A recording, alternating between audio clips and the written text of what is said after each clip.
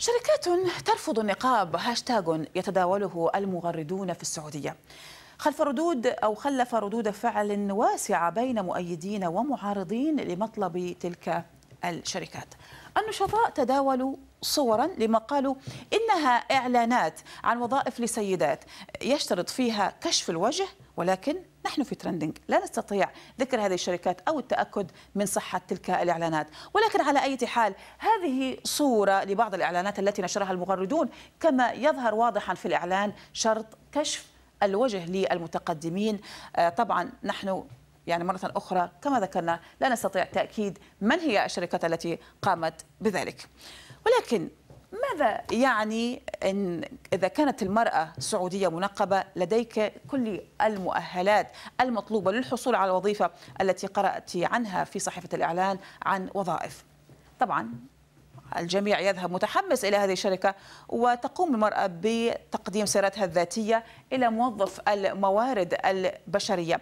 ولكن سرعان ما تتفاجأ تلك المرأة بأن هذا الإعلان ليس لك لأن المرأة المتقدمة قد تكون منقبة وهذا أمر عادي في دولة مثل السعودية حيث الإعلان يشترط كشف الوجه للحصول على وظيفة ولكي تكوني مؤهلة لذلك.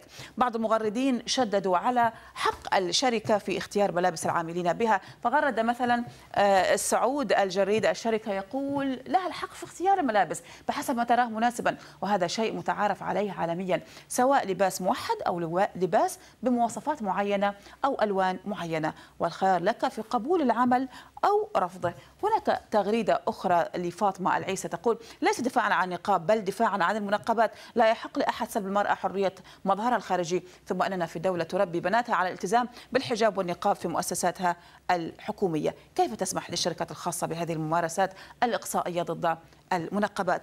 لم يكتفي المغردون بالرفض أو التأييد بل أن بعضهم ذهب للإشارة لقانون العمل السعودي والذي تقول المادة الرابعة منه يجب على صاحب العمل والعامل عند تطبيق أحكام هذا النظام من الالتزام بمقتضيات أحكام الشريعة الإسلامية.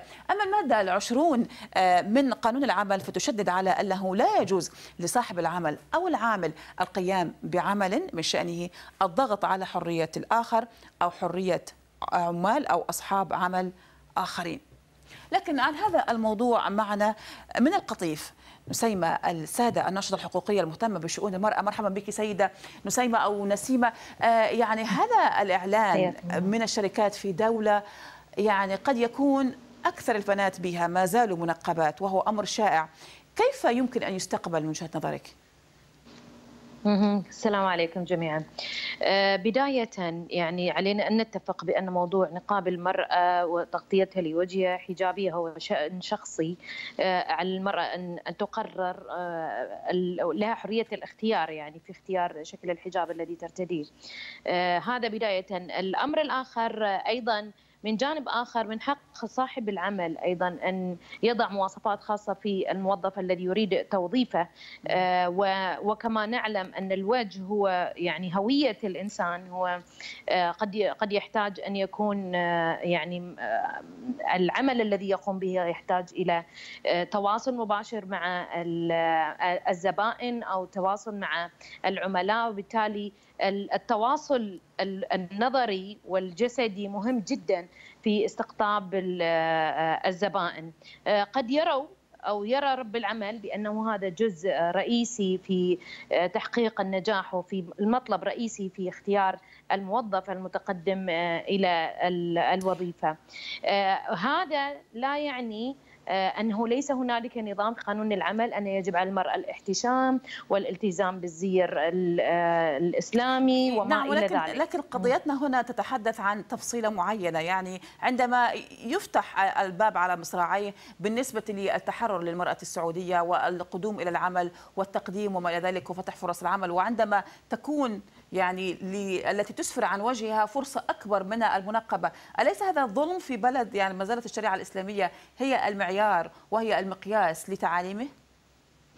هنالك أنا كامرأة ولي يعني وأؤمن تماما بحرية المرأة بأن تلبس النقاب وأيضا عاملة في القطاع الخاص.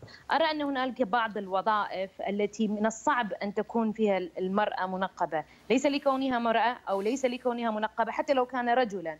ومنقبا مثلا أو مغطى سيكون له نفس نفس التحفظات. بعض الوظائف وليس كلها آه، بالذات الوظائف الأمنية الوظائف التي يحتاج كما أسلفت آه، ان أن يظهر الشخص وجهه ليتعرف على هويته. وإلا سوف يجب علينا توظيف أشخاص آخرين للتأكد من هوية المرأة حينما تدخل أو تخرج من هذه القطاع ومن ذاك. فهنا سيكون على رب العمل أن يقوم بتوظيف أكثر من من شخص ليتأكد بأن هذه المرأة هي نفسها التي ستدخل مثلا هذا المبنى. نسيمة السادة الناشطة الحقوقية المهتمة في شؤون المرأة، شكرا جزيلا لك.